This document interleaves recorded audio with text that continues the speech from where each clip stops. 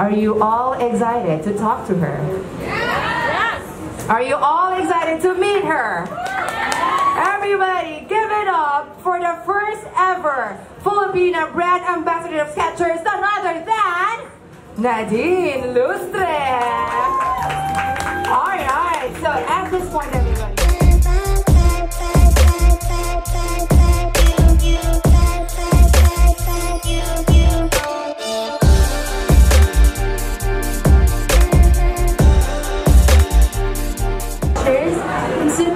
Be um, a part of the Skechers that family.